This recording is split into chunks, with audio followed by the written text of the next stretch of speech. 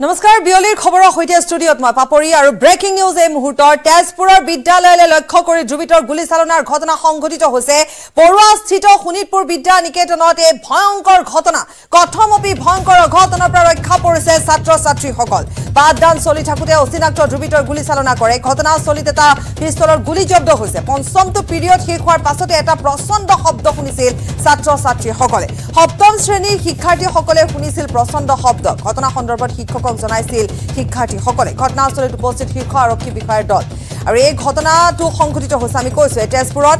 আৰু প্ৰথমতে তেওঁলোকে পঞ্চমটো পিৰিয়ড শেষ হওঁতে তেওঁলোকে শব্দটো শুনা পাইছিল। কিন্তু তেজপুৰৰ বিদ্যালয়লৈ লক্ষ্য কৰি কোন দুবিতে গুলীচালনা কৰিলে সেয়া সেই কথা এতিয়ালৈকে জানিব পৰা হোৱা নাই। কিন্তু যি সময়ত ছাত্ৰ ছাত্ৰীসকলে পঢ়ি আছিলে সেই সময়ছোৱাতে এই ঘটনা সংঘটিত হৈছে। আৰু এইফালে দিয়ে সেই গুলীটো সোমাই আৰু এটা গুলী যিহেতু পোৱা গৈছে এটা প্ৰচণ্ড শব্দ হয় আৰু তেওঁলোকে ভয় খায়। আৰু তাৰ পিছতে আৰক্ষী উপস্থিত হৈছে উপস্থিত হৈ আৰক্ষীয়ে তন্ন তন্নকৈ পৰীক্ষা কৰিছে। পাঠদান চলি থাকোঁতে অচিনাক্ত ধ্ৰুৱিতই গুলীচালনা কৰিছে। এই গোটেই ঘটনাটো এতিয়া এটা চাঞ্চল্য বিৰাজ কৰিছে। আচলতে সকলো ধৰণৰ সকলো ৰাইজ তাত থকা লোকসকল বা অভিভাৱক বা বিদ্যালয়খনৰ শিক্ষক শিক্ষয়িত্ৰীসকল কণ কণ ছাত্ৰ ছাত্ৰীসকল সকলো আতংকিত হৈ পৰিছে যে এই ঘটনা কেনেকৈ সংঘটিত হ'বলৈ পালে আৰু কিয় সংঘটিত হ'ল।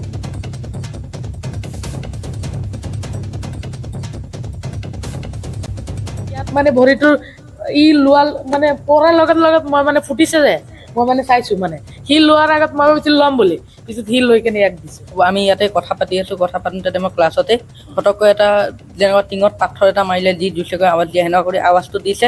পিছত বন্দুকৰ গুলিটো ই চাইছে। গুলিটো চাই কিনে তাৰপিছত মোৰ হাতত দিছে পিছত চাইছোঁ যে গৰম তাৰপিছত অফিচ ৰুমত লৈ গৈছোঁ। এতিয়া কি হয় বস্তু বা আছিল সেইটো ইমান এটা গম পোৱা নাই। পঞ্চম পিৰিয়ডৰ শিক্ষকগৰাকী গৈ পেলাই তাত বহাৰ পিছতে এওঁলোকে এটা সৰু এটা বস্তু লৈ গৈছে। কৈছে যে মিছ এইটো ক্লাছত পৰিলহি আৰু পৰাৰ লগে লগে এটা বন্দুকৰ গুলি ফুটাৰ নিচিনা বা টিঙত বিৰাট জোৰছে। মানে পাথৰ মাৰিলে যেনেকুৱা শব্দ হয় তেনেকুৱা শব্দ কৰি এইটো পৰিছে আৰু আমি লগে লগে উঠাই চাইছোঁ এইটো গৰম বস্তুটো। আৰু সেইকাৰণে ৰুমলৈ লৈ গৈছে। মই কেতিয়াও বন্দুকৰ গুলি বা মানে চৰি ৰিভলভাৰৰ গুলি মই দেখা নাই গতিকে মই চিনি নাপাওঁ। লগে লগে মই পংকজ বৰুৱালে আমাৰ পংকজ বৰুৱালে ফটোখন মাৰি পেলাই পঠাই দিছোঁ। যে পংকজ এইটো কৈছে গুলিয়ে হয়। আৰু এজন ল'ৰাই কৈছে এইটো গুলি হয়। ল'ৰা ছোৱালীখিনিক লগে লগে মই আহি সুধিছোঁ যে তোমালোকক ক'ৰবাত কিবা হৈছে নেকি? কাৰণ ভয় লাগে ন? আমাৰতো এনেকুৱা পৰিস্থিতি কেতিয়াও হোৱা নাই। ভয় খাইছে ডেফিনেটলি ভয় খাইছে। এওঁতো একো ক'বই পৰা নাই বহুত দেৰিলৈকে। এই মোক কৈছোঁ তোমাৰ ক'ত পৰিলো কৈছে নহয় মোৰ নপৰিলে পৰি মানে ভৰিটোৰ জোতাটোত লাগি গুচি গৈছে।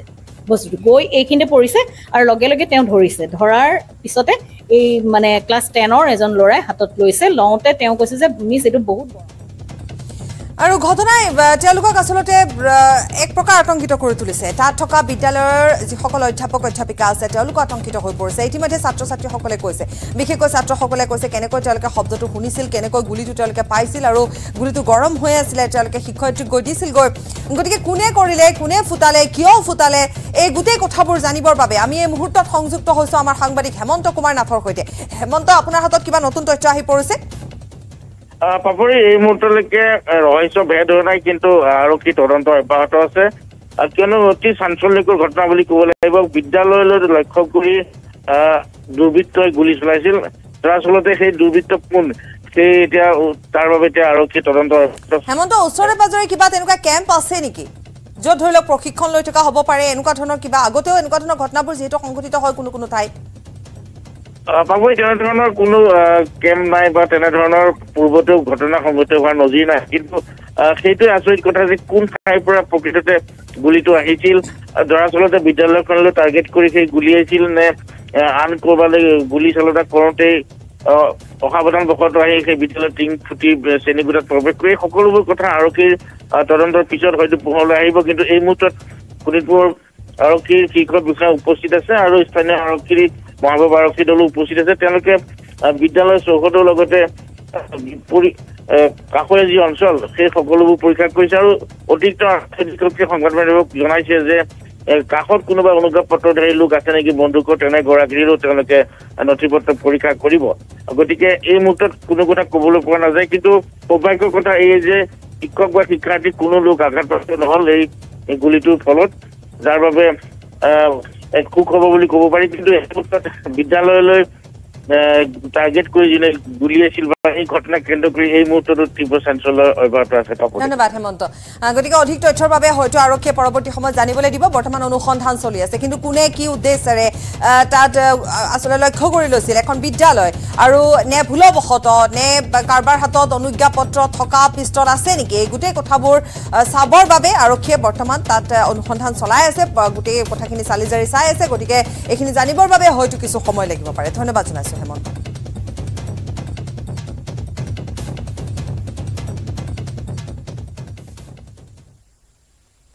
হাৱালা চক্ৰৰ পৰা ধন আত্মসাত কৰি গ্ৰেপ্তাৰ হ'ল আৰক্ষী আৰু সাংবাদিক। ঘটনাৰ সৈতে জড়িত এই পৰ্যন্ত গ্ৰেপ্তাৰৰ সংখ্যা চাৰিজনলৈ বৃদ্ধি পাইছে। দুজন উপ পৰিদৰ্শক এজন সাংবাদিক আৰু এজন ইনফৰ্মাৰক গ্ৰেপ্তাৰ কৰা হৈছে। S I Mobarak Ali S I Anurag Bora সাংবাদিক তৌফিক উদ্দিন আহমেদক গ্ৰেপ্তাৰ কৰা হৈছে আৰু এজন আৰক্ষীৰ ইনফৰ্মাৰক গ্ৰেপ্তাৰ কৰা হৈছে আৰু লগতে এতিয়ালৈকে জানিব পৰা অনুসৰি খাইৰুল ইছলামক গ্ৰেপ্তাৰ কৰিছে ভৰলু আৰক্ষীয়ে। সোধা পোছাৰ বাবে আটক শ্বৰীফ নামৰ এজন লোক। ধৃত কেইজনৰ পৰা এই পৰ্যন্ত আৰক্ষীয়ে উদ্ধাৰ কৰিছে সাতত্ৰিশ লাখ আশী হাজাৰ টকা। ধৃত এছ আই মুবাৰকৰ পৰা উদ্ধাৰ হৈছে সোতৰ লাখ পঞ্চাছ হাজাৰ টকা। সাংবাদিক তৌফিকৰ ঘৰৰ পৰা চাৰি লাখ টকা উদ্ধাৰ হৈছে। আৰক্ষীৰ ইনফৰ্মাৰ খাইৰুলৰ ঘৰৰ পৰা সাত লাখ বিছ হাজাৰ টকা জব্দ হৈছে। গুৱাহাটীৰ হাৱালা চক্ৰৰ পৰা আত্মসাত কৰিছিলে বৃহৎ ধন। হাৱালা চক্ৰৰ দুই সদস্যৰ পৰা আত্মসাত কৰিছিলে বৃহৎ ধনখিনি। একৈছ নৱেম্বৰত গুৱাহাটীত জব্দ হৈছিল এক কোটি সত্তৰ লাখ টকা। হাৱালাৰ ধন ৰাজস্থানৰ দুজন লোকৰ পৰা জব্দ কৰা হৈছিলে। দুয়োজন আছিল আন্তঃৰাষ্ট্ৰীয় হাৱালা চক্ৰৰ সদস্য। জব্দ কৰাৰ পূৰ্বে এই ধনখিনি আত্মসাত কৰিছিল। সাংবাদিক আছিল আৰক্ষী আছিল। জব্দ কৰাৰ পূৰ্বে যিহেতু এই ধনখিনি আত্মসাত কৰিছিল ইতিমধ্যে আমি কৈছোৱেই যে কোন কোন সাংবাদিক কোন কোন আৰক্ষী এই গোটেই ঘটনাটোৰ সৈতে জড়িত হৈ আছে। কাৰ কাৰ ঘৰৰ পৰা? কিমান টকা উদ্ধাৰ কৰা হৈছে? হাৱালা চক্ৰৰ পৰা ধন আত্মসাত কৰি বৰ্তমান গ্ৰেপ্তাৰ ৰঙাঘৰৰ আলহী আৰক্ষী আৰু সাংবাদিক ঘটনাৰ সৈতে জড়িত এই পৰ্যন্ত চাৰিজনক গ্ৰেপ্তাৰ কৰিছে। দুজন উপ পৰিদৰ্শক এজন সাংবাদিক এজন informer. S I Mubarak Ali S I Anurag Bora সাংবাদিক তৌফিক উদ্দিন আহমেদ ইতিমধ্যে গ্ৰেপ্তাৰ হৈছে। আৰু এজন আৰক্ষী ইনফৰ্মাৰ আছে যাৰ নাম হৈছে খাইৰুল। খাইৰুল ইছলামক গ্ৰেপ্তাৰ কৰিছে ভৰলু আৰক্ষীয়ে। সোধা পোছাৰ বাবেও আটক হৈছে শ্বৰীফ নামৰ অন্য এজন লোক। ধৃত কেইজনৰ পৰা এই পৰ্যন্ত আৰক্ষীয়ে উদ্ধাৰ কৰিছে সাতত্ৰিশ লাখ আশী হাজাৰ টকা।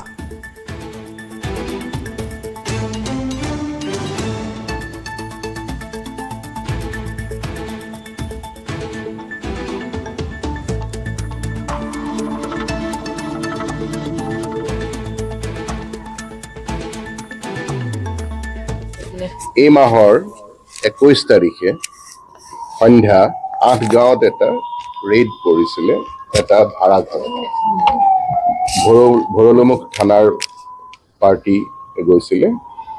এটা বিশেষ খবৰৰ ভিত্তিত তাত এটা ৰেইড কৰিছিলে যে তাত কিবা সন্দেহজনক ঘটনা হৈ আছে বুলি। তাত যোৱাৰ পিছত দেখা গ'ল যে তাত হাৱালা ট্ৰেঞ্জেকশ্যনৰ কিছু পইচা। আৰু যেতিয়া খবৰটো আহিলে চি পিছত নিজৰ টীম লৈ গ'ল তেওঁলোকে ঊৰ্ধতম কৰ্তৃপক্ষক জনালে মোকো জনালে আৰু লগে লগে আমি ইনকাম টেক্স ডিপাৰ্টমেণ্টক জনালোঁ যে তেওঁলোকে টীম ইমিডিয়েটলি পঠাব লাগে। ইনকাম টেক্স ডিপাৰ্টমেণ্টৰ বিষয়া কৰ্মচাৰী গৈ তেওঁলোকৰ প্ৰচিডিঅ'ৰ মতে চাৰ্চ কৰি যিখিনি টকা পালে কেছ ৰুপিজ সেইটো হ'ল এক কোটি সত্তৰ লাখ মোটামুটি। এক কোটি ঊনসত্তৰ লাখ কিমান হাজাৰ টকা। সেইখিনি ইনকাম টেক্সে নিজাববীয়াকৈ তদন্ত আৰম্ভ কৰিছে ক'ৰ পইচা কাৰ পইচা কেনেকৈ তাত আহিছিলে। কিন্তু সেই ঘটনাটোৰ লগে লগে আমাৰ হাতত কিছু তথ্য আহিলে যে তাত আৰু বেছি পইচা আছিলে। কোনোবাই হয় পুলিচৰ বা তেনেকুৱা আৰু লগত থকা কোনোবা মানুহে প্ৰথমতে গৈ তাৰ পৰা কিছু টকা সৰলকি কৰিছে। এই ঘটনাটোৰ তদন্ত আমি আগবঢ়াই নি আছিলো। D C P west Padmanabh বৰুৱাই খুব সক্ৰিয় হৈ তদন্তত আগবাঢ়িছিল। আৰু আজি ৰাতিপুৱা আমি হাজোৰ পৰা এজন পাব্লিক মানুহক যেতিয়া ডিটেইন কৰোঁ তেওঁৰ ঘৰত চাৰে সাত লাখ টকা পোৱা যায়। আৰু তেওঁৰ স্বীকাৰোক্তিৰ ভিত্তিত আমি বাকী কেইজনমান ব্যক্তিক আটক কৰিছোঁ। তাৰে এজন আমাৰ আৰক্ষী বিভাগৰ ছাব ইন্সপেক্টৰ মোবাৰক আলী তেওঁ ভৰলুমুখ থানাতে কৰ্মৰত আছিলে তেওঁ প্ৰথম ৰেইড কৰোঁতে ভিতৰত সোমাইছিলে আৰু লগত আৰু এগৰাকী ব্যক্তি যি সাংবাদিক বুলি নিজকে পৰিচয় দিয়ে তৌফিক উদ্দিন তেওঁ জালুকবাৰীত ঘৰ আৰু এজন পাব্লিক ব্যক্তি মই নাম পাহৰিছোঁ চাৰিজন ব্যক্তিক বৰ্তমান আটক কৰিছোঁ। বৰ্তমানলৈকে তেওঁলোকৰ পৰা আমি সাতত্ৰিছ লাখ আশী হাজাৰ টকা কেছ ৰুপিজ জব্দ কৰিছোঁ গতিকে তদন্ত আমাৰ জাৰি আছে। আৰু যদি ক'ৰবাত লুকুৱাই থৈছে তেতিয়াহ'লে পিছত উদ্ধাৰ হোৱাৰ পিছতহে আমি ভালদৰে ক'ব পাৰিম। কিন্তু এটা কথা যে এই চাৰিজন ব্যক্তি জড়িত আছিলে যেতিয়া অ' চিয়ে নিজৰ টীম লৈ গৈ পাই তাৰ আগতেই তাৰ পৰা এটা মোটা অংকৰ টকা তেওঁলোকে হৰলুকি কৰিছিলে। আৰু তাৰ ভিতৰতে আমি সাতত্ৰিছ লাখ আশী হাজাৰ টকা বৰ্তমান উদ্ধাৰ কৰিবলৈ সক্ষম হৈছোঁ। আৰু এই চাৰিজন ব্যক্তি আমাৰ বৰ্তমান হেফাজতত আছে। সেই বৰ্তমান আমাৰ হেফাজতত এজন আছে মুবাৰক আলী ছাব ইন্সপেক্টৰ আৰু যদি কোনোবা জড়িত আছে তেওঁলোকক আমি ৰেহাই নিদিম। মুখ্যমন্ত্ৰী ডাঙৰীয়া আমাৰ আৰক্ষী সঞ্চালক প্ৰধান ডাঙৰীয়াই বাৰে বাৰে আৰক্ষী বিভাগৰ প্ৰতিজন কৰ্মচাৰী বিষয়াকে সকিয়নি দি আছে যে যদি কোনোবা আৰক্ষী আৰক্ষীয়ে কিছু যি নকৰিব লগা কাম কৰে বেআইনী কাম কৰে আৰক্ষীকো ৰেহাই দিয়া নহ'ব। মুখ্যমন্ত্ৰী ডাঙৰীয়া বা আৰক্ষী সঞ্চালক প্ৰধান ডাঙৰীয়া সেই সকিয়নিকো ভয় নকৰি আমাৰ যিয়ে আৰক্ষী এই এই এই- ধৰণৰ ঘটনাত জড়িত হয় আমি ৰেহাই নিদিম আমি আইনগতভাৱে যি শাস্তিমূলক ব্যৱস্থা ল'ব লাগে আমি ল'ম। সাংবাদিকগৰাকীৰ বিৰুদ্ধে কিন্তু এইটো ঘটনাত তেওঁ সক্ৰিয়ভাৱে জড়িত আৰু তেওঁৰ ঘৰৰ পৰা বৰ্তমান তেওঁ দেখুৱাই দিয়া মতে চাৰি লাখ টকা আমি উদ্ধাৰ কৰিবলৈ সক্ষম হৈছোঁ।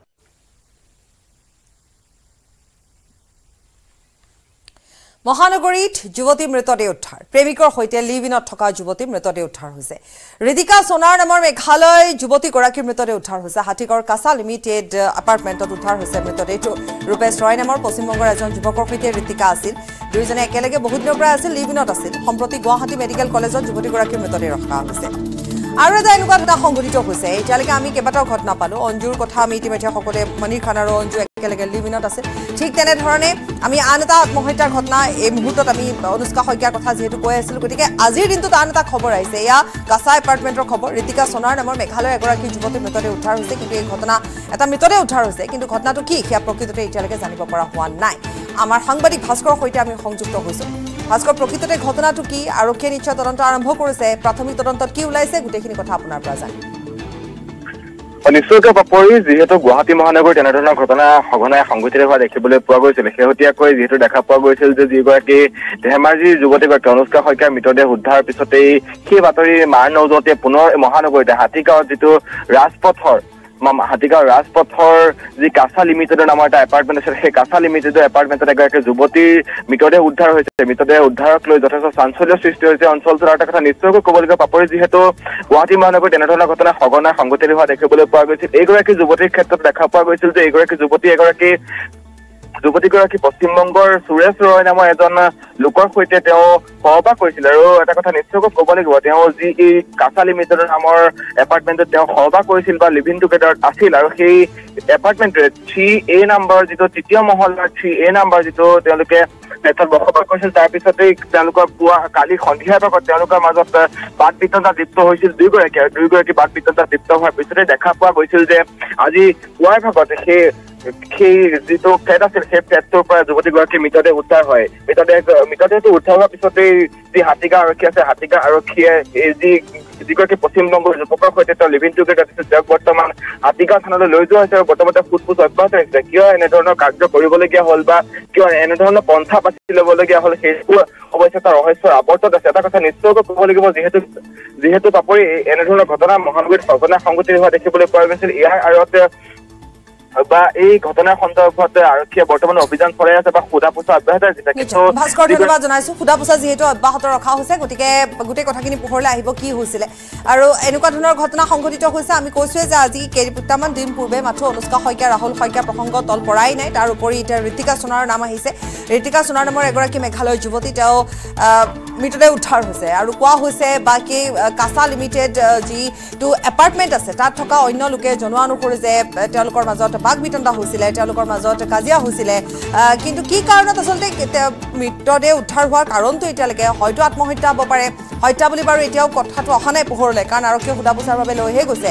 গতিকে পৰৱৰ্তী সময়ত গোটেইখিনি কথা স্পষ্ট হ'ব। কিন্তু পুনৰ কৈছোঁ এগৰাকী যুৱতীৰ মৃত্যু হৈছে এটা মৃতদেহ উদ্ধাৰ হৈছে।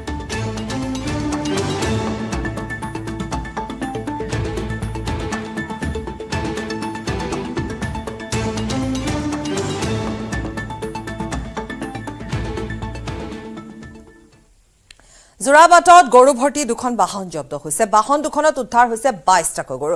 ভৰিত বান্ধি বস্তাৰে ঢাকি সৰবৰাহ কৰিছিল গৰুকেইটা। আৰক্ষী জালত পৰিছে তিনিটা সৰবৰাহকাৰী। ধৃত ফাইজুল ইছলাম শামছুদ্দিন আলী আৰু আশ্ৰাফুল ইছলাম। নগাঁৱৰ পৰা বৰ্ণিহাটলৈ সৰবৰাহ কৰিছিল গৰুকেইটা। পুনৰ এবাৰ কৈছো যোৰাবাটত গৰু ভৰ্তি দুখন বাহন জব্দ কৰা হৈছে। বাহন দুখনত বাইশটাকৈ গৰু উদ্ধাৰ হৈছে। ভৰিত বান্ধি বস্তাৰে ঢাকি সৰবৰাহ কৰিছিল গৰুকেইটা। আৰক্ষী জালত পৰিছে তিনিটা সৰবৰাহকাৰী। ধৃত ফাইজুল ইছলাম শামছুদ্দিন আলী আৰু আশ্ৰাফুল ইছলাম। নগাঁৱৰ পৰা বৰ্ণিহাটলৈ সৰবৰাহ কৰিছিল গৰুকেইটা।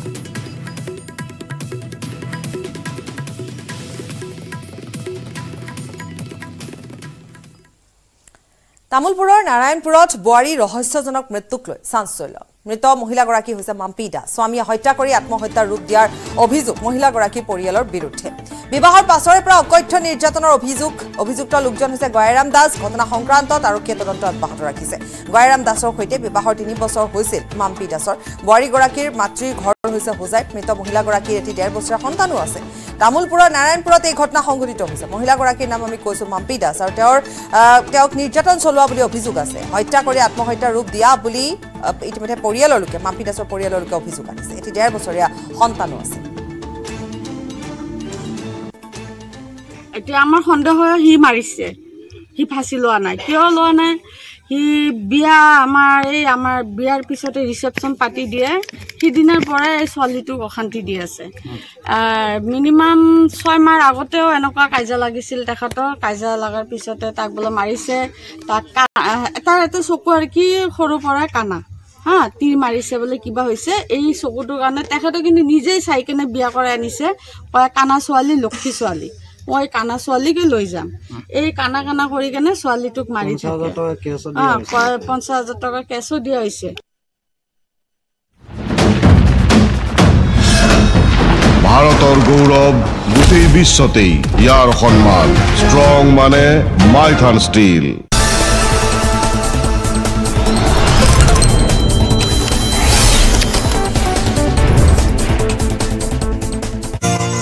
শাসন কৰি সেয়াও মনাব পৰা নাই হামাছক। সম্প্ৰতি তিনি লাখৰো অধিক ইজৰাইলী সেনাই অৱৰুদ্ধ কৰি ৰাখিছে সমগ্ৰ গাজা ষ্ট্ৰীপ। ভয়ংকৰ মাৰণাস্ত্ৰ টেংক গোলা বাৰুদ লৈ সেই ক্ষুদ্ৰ অঞ্চলটো বিগত এমাহ ধৰি নিজৰ দখলত ৰাখিও ইজৰাইলে হামাছৰ কবলৰ পৰা দুই শতাধিক পণবন্দীক উদ্ধাৰ কৰিব নোৱাৰাটো যেন পৰম এটা বিস্ময় হৈ ৰল। আৰু তাতোকৈ ডাঙৰ কথা যে পঞ্চাছজন পণবন্দীৰ বিনিময়ত হামাছে এশ পঞ্চাছজন পেলেষ্টাইনী কাৰাবন্দীক মুকলি কৰি আনিবলৈ যি ধৰণৰ দৰদাম কৰিলে সেই কথাই প্ৰমাণিত কৰিলে যে হামাছ নিশেষ হৈ যোৱা নাই। তাৎপৰ্যপূৰ্ণ কথাটো হ'ল কেৱল ইজৰাইলৰ আক্ৰমণ বন্ধ বা যুদ্ধবিৰতিৰ বিনিময়ত হামাছে পঞ্চাছ পণবন্দীক মুক্তি দিবলৈ সন্মত হোৱা নাই। সন্মত হৈছে ইজৰাইলৰ কাৰাগাৰত বন্দী হৈ থকা এশ পঞ্চাছজন পেলেষ্টাইনী নাগৰিকক মুক্তিৰ বিনিময়তহে। এই পৰ্যন্ত হামাছে এশ সোতৰজন পেলেষ্টাইনী বন্দীৰ বিনিময়ত মুক্তি কৰি দিছে একচল্লিছজন পণবন্দী। চুক্তি অনুসৰি পুনৰ বাকী নজন পণবন্দী আৰু ইজৰাইলে তেত্ৰিছজন বন্দীক মুকলি কৰি দিয়াৰ কথা।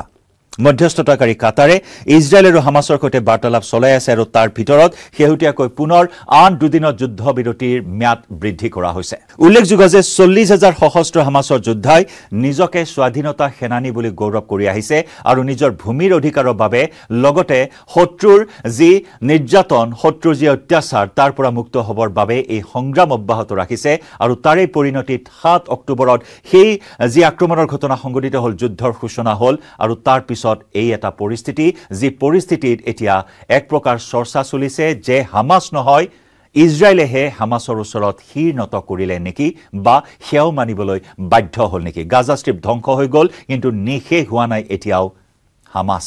হামাছ উৎখাতৰ অভিযান অনাগত সময়ত কেনেদৰে আগবঢ়াই নিয়ে? ইজৰাইলে সেয়া হ'ব লক্ষণীয়।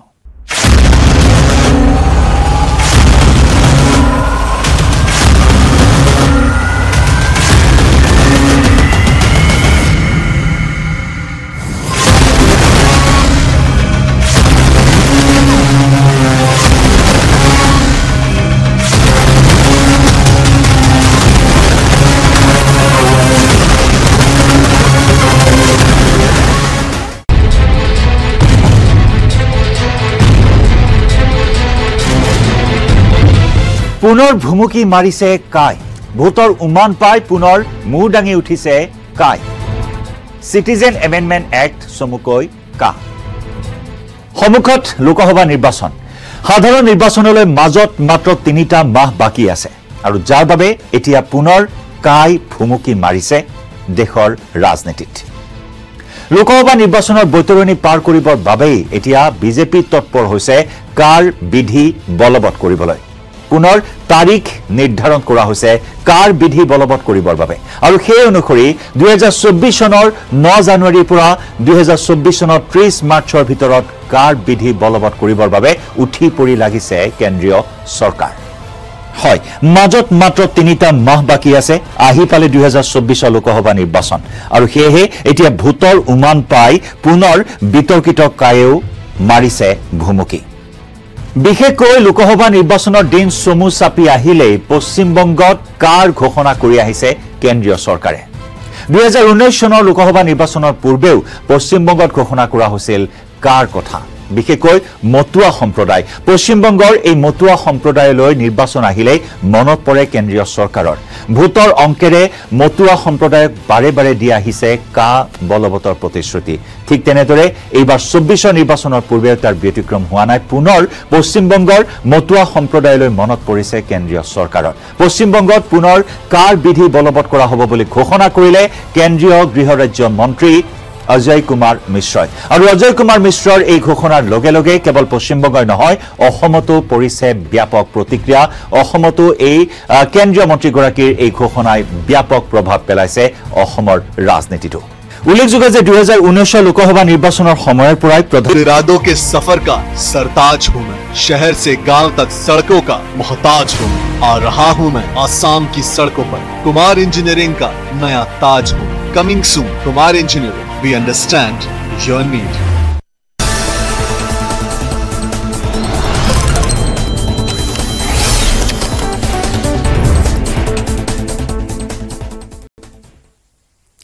News এইটিনৰ বিগ ইম্পেক্ট নিউজ এইটিনৰ বাতৰিৰ পাছতে অসহায় পৰিয়ালৰ কাষত উপস্থিত হ'ল DGP G P Singh Darrang জিলাৰ পশ্চিম পদুঘাট শ্যামতিলা গাঁৱত উপস্থিত হৈ পৰিয়ালটোৰ খবৰ ল'লে ডিজিপিগৰাকীয়ে উপস্থিত থাকে দৰঙৰ আৰক্ষী অধীক্ষক প্ৰকাশ সোণোৱাল। দুষ্কৃতিকাৰীয়ে জ্বলাই দিছিল পৰিয়ালটোৱে পথাৰত চপাই থোৱা ধাননি জুইত জাহ গৈছিল চাৰি বিঘাৰৰো অধিক ভূমিৰ ধান। অন্য সম্প্ৰদায়ৰ মাজত গাঁওখনত অকলে বাস কৰিছিল হিন্দু পৰিয়ালটোৱে। ঘটনা সন্দৰ্ভত দৰঙৰ পাণবাৰী থানাত ভুক্তভোগী পৰিয়ালটোৱে এজাহাৰ দাখিল কৰিছিল আৰু তাৰ পিছতে আমি বাতৰি সম্প্ৰচাৰ কৰিছিলোঁ। পৰৱৰ্তী সময়ত তাত আমি কৈছোঁৱে যে তাত উপস্থিত হৈছেগৈ ডি জি পিগৰাকী উপস্থিত হৈছে এয়া আমি দেখুৱাই গৈছোঁ।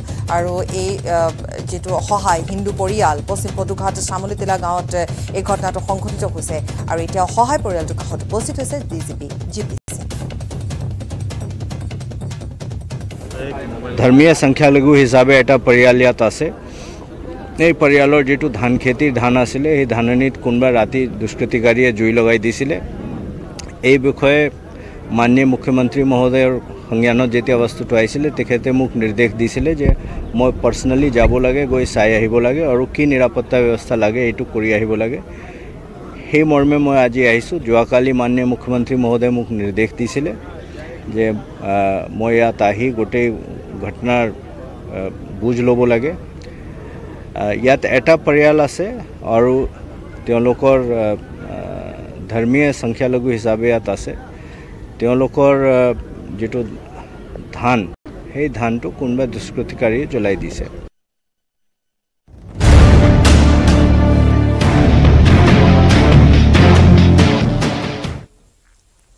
ভুল বুজাবুজিৰ বাবেই আত্মহত্যা কৰিলে অনুষ্কা শইকীয়াই জেৰাৰ অন্তত ৰাহুলক ঘৰলৈ যাবলৈ দিলে আৰক্ষীয়ে।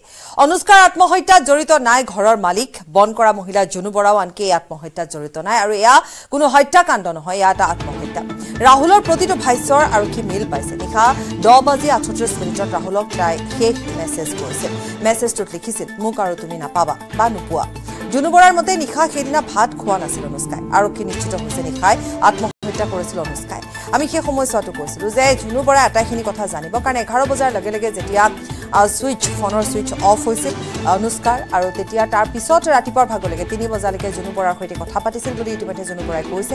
গতিকে পুৱাৰ ভাগত বা পুৱতি নিশাৰ ভাগত অনুষ্কাই এই কাণ্ড সংঘটিত কৰিছে বা অনুষ্কা এই পথ বাছি লৈছে এই চৰম পথ বাছি লৈছে আমি তেতিয়াও ভাবিছিলোঁ যে মানসিকভাৱে সেই সময়ছোৱাত অনুষ্কা আচলতে যথেষ্ট তেওঁ চাপত আছিলে। কাৰণ কোৱা হৈছিলে পৰৱৰ্তী সময়ত যেতিয়া গোটেই কথাবোৰ পোহৰলৈ আহিছিলে যে ৰাহুল শইকীয়া তেওঁৰ প্ৰেমিকৰ সৈতে কাজিয়া হৈছিলে শনিবাৰে নিশা। আৰু তাৰপিছতে ষ্টেচনলৈ গৈছিল ৰাহুল। ষ্টেচনৰ পৰা যেতিয়া অনুষ্কা ঘূৰি আহিছিল অনুষ্কাই কান্দিছিল আৰু দহ বাজি পঁয়ত্ৰিছ মিনিটত এই যিটো মেছেজ সেই মেছেজটো দিছিল আৰু এটা ইনষ্টাত এটা পোষ্ট দিছিল আৰু তাৰপিছতে ছুইচ অফ কৰিছিল। অনুষ্কাৰ মাতৃৰ সৈতে আমাৰ সাংবাদিক মন বিকাশ বুঢ়াগোহাঁইৰ এক প্ৰতিবেদন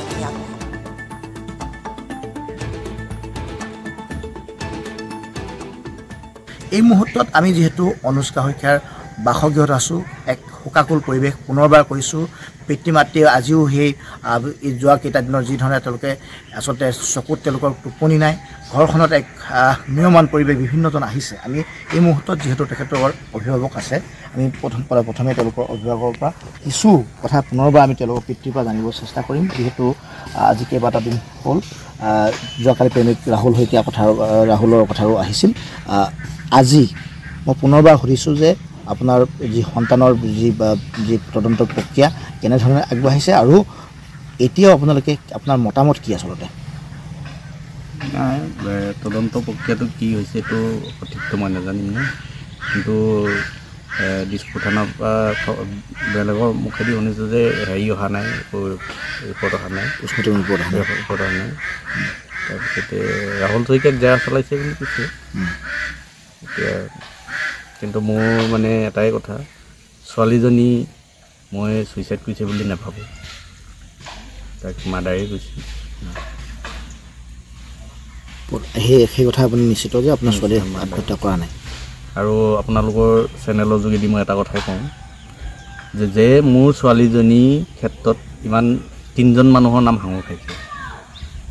বাকী আমাকো গুৱাহাটীত যেতিয়া গৈছোঁ মানে আপোনালোকৰ নিউজ চেনেলে বাৰে বাৰে মানে আমাৰ সাক্ষাৎকাৰ লৈছে মানে প্ৰশ্ন সুধিছে। আজি যোৱাকালি ৰাহুল শইকীয়াও গ'ল তাকো মানে হেৰি কৰিছে।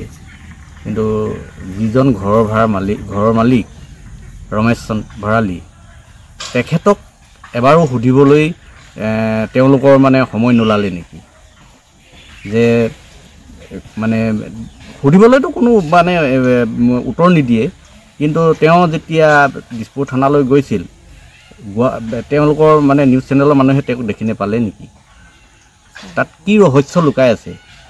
মই আপোনালোকৰ চেনেলৰ যোগেদি জানিব বিচাৰিছোঁ। হয় ইয়াৰ পিতৃ তেওঁ আচলতে তেওঁ ইতিমধ্যে উল্লেখ কৰিছে যিগৰাকী পিতৃ আচলতে ঘৰৰ মালিক ৰমেশ চন্দ ভঁৰালী। তেওঁৰ যিহেতু সংবাদ মাধ্যমৰ সন্মুখলৈ তেওঁৰ তেওঁৰ ছবি এতিয়াও অহা নাই কিন্তু তেওঁলোকে তেওঁ যিহেতু উল্লেখ কৰিছে যে সংবাদ মাধ্যমৰ বা তেওঁ আচলতে আৰক্ষীয়ে সেই তেওঁৰ অভিভাৱক অভিভাৱকৰ যি আচলতে বিস্ফোৰক অভিযোগ বা যি যি ধৰণে তেওঁলোকে তাত অভিযোগ দাখিল কৰিছিল সেই অভিযোগৰ ভিত্তিত সেইগৰাকী ঘৰৰ গৰাকীক আচলতে সোধপোছ কৰিব লাগিছিল বা সংবাদ মাধ্যমেও সেই তেওঁৰ ছবি কিন্তু এতিয়াও তেওঁৰ পোহৰলৈ অহা নাই। মই মাতৃ আছে মই পুনৰবাৰ কৈছোঁ যে এক শোকাকুল পৰিৱেশে সঁচাকৈ বিৰাজমান কৰিছে। তেনে মুহূৰ্তত কিন্তু মই আপোনাক হেঁচা প্ৰয়োগ কৰিব বিচৰা নাই কিন্তু এতিয়াও আচলতে অনুষ্কাৰ যি ঘটনা সংঘটিত হ'ল তাক লৈ আপুনি আপোনাৰ মতামত কি? মই কি ক'ম এতিয়া? এটাই আশা মোৰ। বাৰে বাৰে কথাখিনিতো কৈছোঁ আপোনালোককতো কৈছোঁ যিখিনি কৈছোঁ মই সত্যৰ ওপৰতে কৈছোঁ। এতিয়া মোৰ আশা আৰক্ষী যি তদন্ত কৰিছে সেই তদন্তৰ ওপৰত সত্যতা প্ৰকাশ হ'ব লাগে। তাত যাতে মোৰ বিশ্বাস আছে আৰক্ষীৰ ওপৰত বিশ্বাস আছে ফৰেঞ্চিকত গৈছে পষ্টমৰ্টেম ৰিপৰ্ট গোটেইখিনিৰ ওপৰত মই বহুত বিশ্বাসে মানে ৰখি আছোঁ যে তাইৰ ৰিপৰ্টটো যাতে শুদ্ধমতে আহে। আৰু আমি যিখিনি সন্দেহ কৰিছিলোঁ সেই সন্দেহৰ আৱৰ্তত তিনিজন মানুহ আঙুৰ খাইছে তেওঁলোকক পুলিচে তদন্ত কৰি আছে সেইখিনি খবৰো পাইছোঁ। বাকী নিউজ চেনেলে কিছুমান সাংবাদিকে অকণমান মানে মোৰ ঘটনাটো মানে বেলেগ ফালে নিছে। যাতে মই যিহেতু এগৰাকী মাতৃ দুৰ্ভগীয়া মাতৃ মই ছোৱালীজনীক হেৰুৱাই আছোঁ।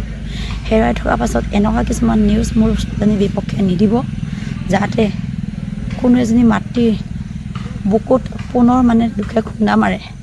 মোক এতিয়া সান্তনা মই নিজে ল'ব পৰা নাই কিন্তু আপোনালোকৰ চেনেলৰ নিউজবোৰ মই অলপ অলপ চাই আছোঁ যিহেতু মোৰ ছোৱালীক ন্যায় লাগে। আপোনালোকৰ বাতৰিয়ে যাতে মোৰ ছোৱালীজনী ন্যায় পাব বিচাৰিছোঁ। লগতে অসম চৰকাৰক মই কাতৰ অনুৰোধ কৰিছোঁ অকল মোৰ ছোৱালীৰ কাৰণে নহয় প্ৰত্যেকগৰাকী ছোৱালীৰ কাৰণে উঠি অহা ছোৱালীৰ সপোনবোৰ যাতে নষ্ট নকৰি এনেকৈ ধ্বংস কৰি নাযায়। এই ছোৱালীবিলাকৰ যিটো মৃতদেহ বুলি এবাৰ বাতৰি প্ৰকাশ হৈ যোৱাৰ পাছত চেনেলে চেনেলৰ কাম কৰি শেষ কৰাৰ পাছত তেওঁলোকৰ তদন্তবোৰ আধৰুৱাতে থাকি যায় সেইটো যাতে কৰি নাযায়। কিছু সময় পাছতে প্ৰকাশ পাব পাঁচ ৰাজ্যৰ এক্সিট পোল এক্সিট পলক লৈ প্ৰতিক্ৰিয়া। মন্ত্ৰী জয়ন্তমল বৰুৱাৰ দুখন ৰাজ্যত বিজেপিৰ জয় নিশ্চিত বুলি দাবী কৰিলে মন্ত্ৰীগৰাকীয়ে। আমি আগতেই কৈছোঁ যে আমি কোনো সমষ্টিৰ নাম লোৱা নাই কিন্তু আজিৰ তাৰিখত আমাৰ মাননীয় মুখ্যমন্ত্ৰী ডাঙৰীয়াই কৈছে যে চাৰে এঘাৰটা সমষ্টিত আমি বিজয়ী হ'ম। যি আঢ়ৈটা সমষ্টি আছে এই আঢ়ৈটা সমষ্টিত আমি কেনেকৈ বিজয়ী হ'ব পাৰোঁ তাৰ কাৰণে আমাৰ প্ৰচেষ্টা আৰম্ভ হৈছে। আৰু আমাৰ বিশ্বাস আছে যে নিৰ্বাচনৰ সময়লৈকে আমি আগবাঢ়ি গৈ থাকিম আৰু এটা সময়ত হয়তো চৈধ্যতাৰ চৈধ্যতা পালেও আচৰিত হ'ব লগা একো নাই।